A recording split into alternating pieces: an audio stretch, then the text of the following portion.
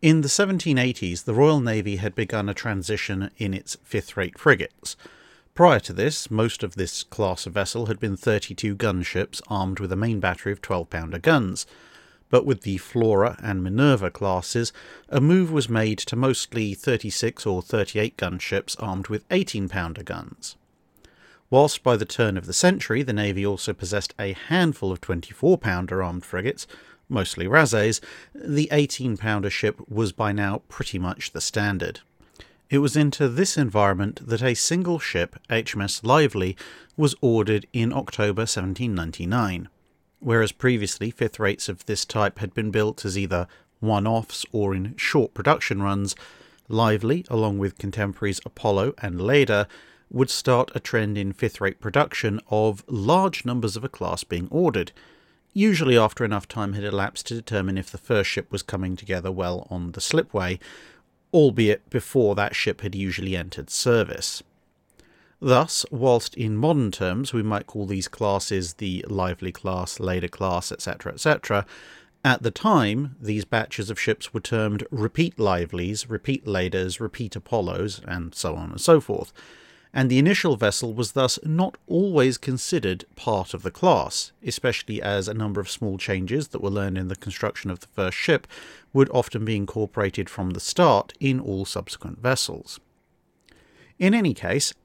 Lively and her successors would be regarded as fairly successful ships,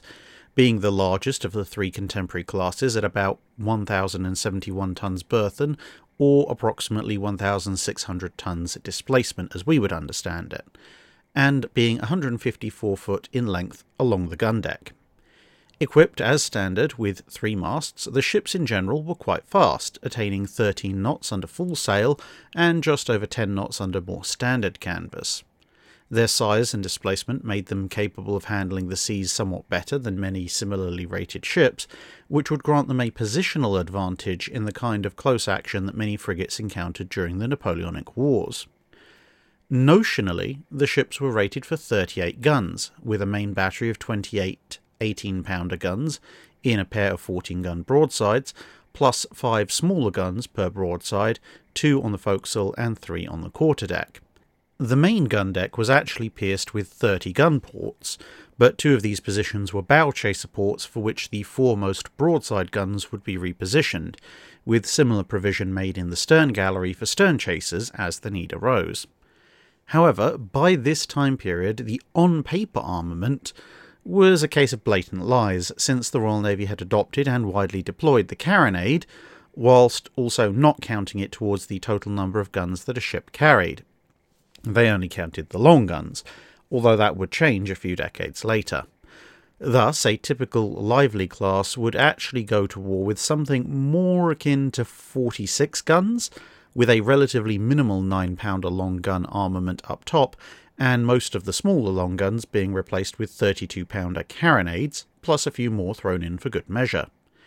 Discounting the bow chaser positions, plans for HMS Nisus, taken when she came in for refit in 1810, showed no less than 25 gun ports per side for a total of 50 mounted guns.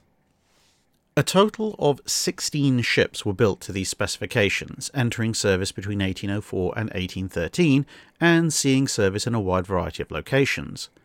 Three ships would be lost on active duty, Two, Lively herself and the Statira fell victim to the single largest cause of loss to the Royal Navy in the Napoleonic Wars, running aground. The other wartime loss was HMS Macedonian, which ran into the USS United States in October 1812, being relatively quickly overwhelmed and forced to strike her colours, despite in theory being a materially sound ship, unlike the Guerriere, and also having a theoretically experienced crew, unlike the Java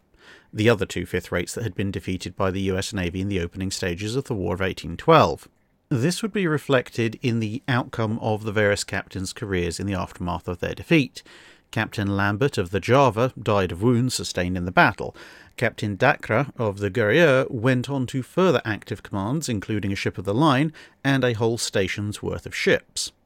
Whilst Captain Carden of the Macedonian was never allowed to command a ship again. Macedonia herself was taken back to the United States, recommissioned as USS Macedonian, and would serve under the Stars and Stripes until 1828, when she was broken up, having occasionally, amongst other things, been sent out to sail alongside HMS President when that ship was deployed to patrol the US East Coast by the Royal Navy. Some other ships of the class, including the Spartan and Menelaus, would also see action in the War of 1812, although to somewhat greater success than the Macedonian. Although mostly placed into reserve following the conclusion of the Napoleonic Wars, the surviving ships would occasionally be reactivated for brief commissions as regular frigates, or else would find themselves used in secondary purposes, such as troop ships, accommodation vessels, or training ships. Of particular note are the Horatio, which was converted in the 1840s to a screw driven guard ship and then subsequently during the Crimean War into a mortar armed bomb vessel, and the aforementioned Menelaus, which became the longest lived of the class, serving mainly as a hospital ship through most of the 19th century and only going to the breakers in 1897, whilst most of the other ships would be sold out of service in the 1850s and early 1860s, as by that point steam driven frigates and ironclads had supplanted them in any useful active role. That's it for this video. Thanks for watching. If you have a comment or suggestion for a ship to review, let us know in the comments below. Don't forget to comment on the pinned post for dry dock questions.